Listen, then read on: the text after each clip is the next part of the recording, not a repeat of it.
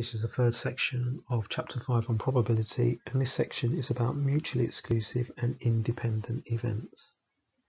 So let's start with mutually exclusive. So mutually exclusive events cannot happen at the same time. So for example, it might be uh, rolling an odd number in a dice.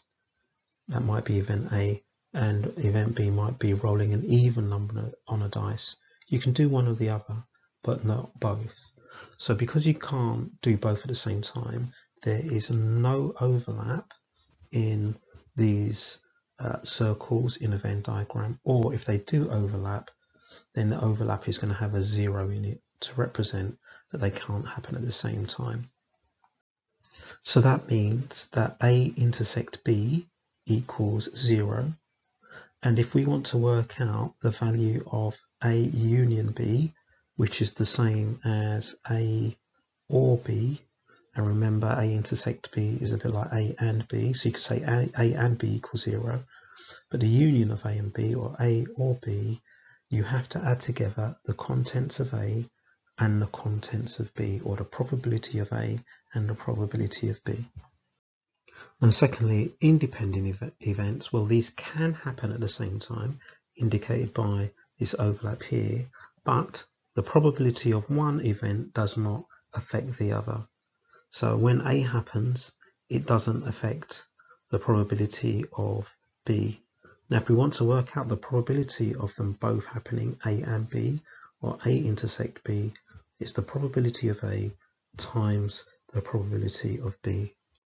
Now, students often get these two confused, so make sure you're clear about both of these definitions and what they mean in terms of the calculations we do mutually exclusive and independent. Example 5. Events A and B are mutually exclusive. Okay. We've got a probability of A is 0.2, probability of B is 0.4. So before we tackle this question, it will be useful to draw a Venn diagram to represent what's going on. So here's my sample space then I want two non-overlapping circles since these are mutually exclusive. Then the probability of A is 0.2, probability of B is 0.4. Now, in a sample space, the probability needs to add up to 1 if, uh, if we're given sort of decimals or fractions. 0.2 plus 0.4 is 0.6. 1 minus 0.6 is 0.4. Okay, so we're now ready to answer the question. Want the probability of A or B. Now this is the same as the probability of A union B. And the way we work this out, it's the probability of A plus the probability of B. So that will be 0.2 plus 0.4. So the answer is 0.6. Okay, part B, the probability of A but not B. Now, since these are mutually exclusive, this is just the same as the probability of A, and that is just 0.2. Or you could think of it like, well, we want everything that's in A, but we don't want what's in B to go with it, so it's just a 0.2. And then part C, the probability of neither A or B so this basically means nothing in A or B, just what's left, and that's going to be the 0.4. Example 6. Events A and B are independent. Probability of A is a third, probability of B is one fifth. Find the probability of A and B. Okay, so the probability of A and B we can write as the probability of A intersect B. Now, since they're independent, if you want to find the probability of A and B, you take the probability of A and you multiply it by the probability of B.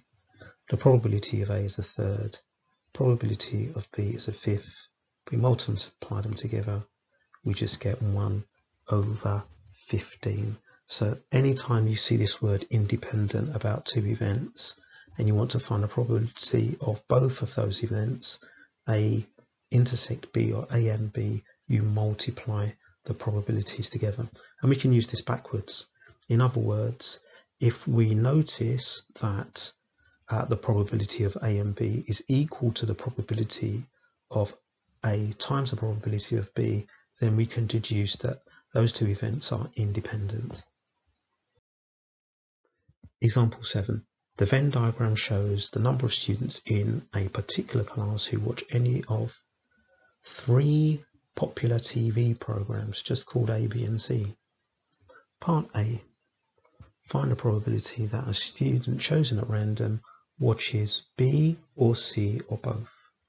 So the first thing we need to do is to find the total number of students. Total number of students. This is going to be the denominator in our fractions. So um, we just add them together. 3 plus 4 plus 5 plus 10 plus 7 plus 1. And that's a class of 30.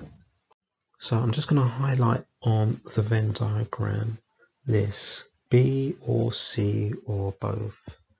So B is this or C, which is this, they overlap, or both. So I include the overlap.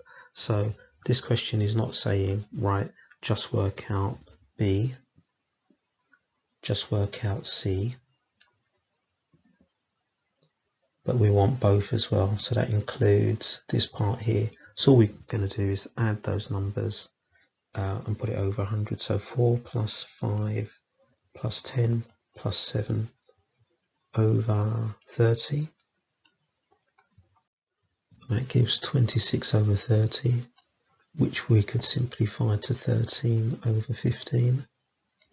So if we're going to write it as a probability, we'll say the probability that they watch B or C or both is that 13 over 15. Now part B, determine whether Uh, watching A and watching B are statistically independent. Right, how are we going to do that? Well, if they're independent, if A and B are independent, statistically independent, then this statement should be true. The probability of A and B, A intersect B, should be equal to the probability of A times the probability of B. So we're going to see if that statement is true. So the probability of A and B, well that's 4 over 30. So we want to show is this statement true? Is 4 over 30 equal to um, 7 over 30 times 19 over 30. So we'll just write down here that this is the probability of A intersect B. Probability of A is 3 plus 4 over 30, as we said 7 over 30.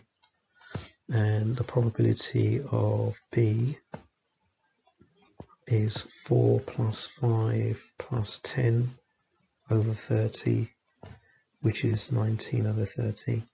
Right, so what's the probability of A times the probability of B? Well, that's 7 over 30 times by 19 over 30. Now that gives 133 over 900, which does not equal 4 over 30.